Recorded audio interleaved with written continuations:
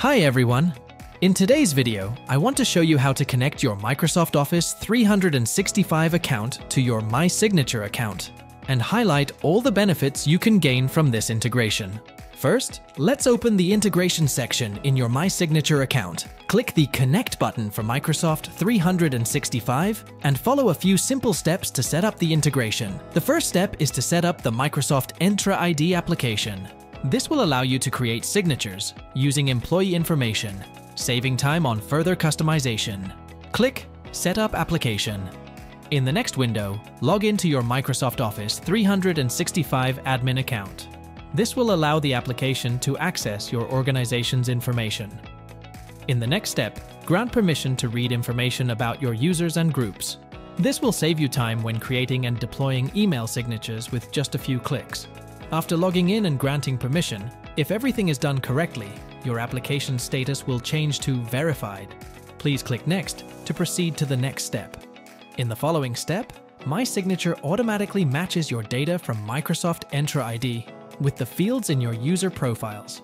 You can adjust mapping now or later in the integration settings. Click Adjust Mapping. In the next window, check if the user profile fields are correctly matched with your organization's attributes. For example, the email signature field name should be matched with the display name. This helps save a lot of time when creating email signatures. Please save the mapping if everything looks good.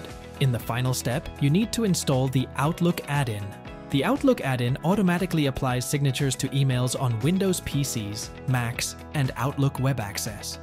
You can install it for your entire organization or specific groups. Finally, click Connect to finish the Microsoft Office 365 integration. It may take some time to activate. You'll receive an email notification when it's ready. So, after you've finished the integration, your next step is to import the users of your organization to My Signature. To do this, click on the Users icon on the left sidebar. Then, on the right side, find and click the Import Users button. In the window that appears, choose the group of users you want to import. The number of users you can import is limited by the number of user seats in your pricing plan. Please check the boxes for the groups of users you want to import, and you can also exclude some users from the group if needed. Choose the desired group and click Import. Importing users can take some time, so just sit back and relax while My Signature does the work for you. Now that your users' profiles are imported into My Signature, let's create a new segment and add your users to it. Users in the same segment will share the same email signature design. Click the Create a Segment button to start creating an email signature for this segment of users. You can create an email signature from scratch or choose from dozens of pre-designed professional email signatures. Simply click on any email signature template to start customizing it. You have a powerful tool for customizing email signature templates. You can add general and contact information to your signature, such as email, address, and phone number. Next, you can brand a signature template with a banner to increase visibility for your marketing campaigns. After that, you can proceed with social icons and rearrange their order. You can paste the links you have here. If you don't want, for example, X on the list, you can simply delete it. Next, there are some add-ons available. In this case, there is already an add-on, which is the disclaimer.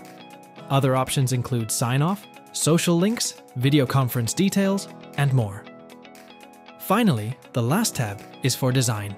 The designs are still quite flexible, even after you choose a particular template. On this tab, you can set the general design style for your signature template, change the font, color of icons, and so on. Now we're ready to proceed with the image.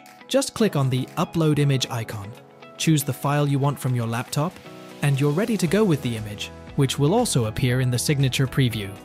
When you finish creating an email signature, click Save Segment. This means you've created a signature for your segment.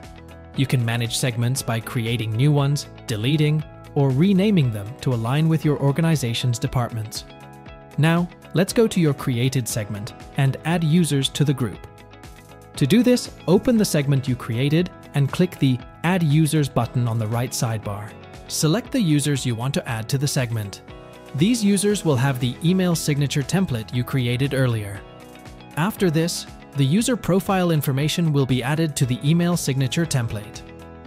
If everything looks good, you can deploy the email signatures, and they will automatically be added to the user's Outlook email footers. Deployment can take some time, and you'll receive a notification when it's done. I really hope this tutorial was super useful for you. If you run into any problems, please feel free to contact our support team.